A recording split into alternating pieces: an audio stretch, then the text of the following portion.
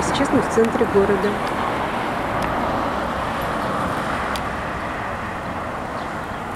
Одна из частей улиц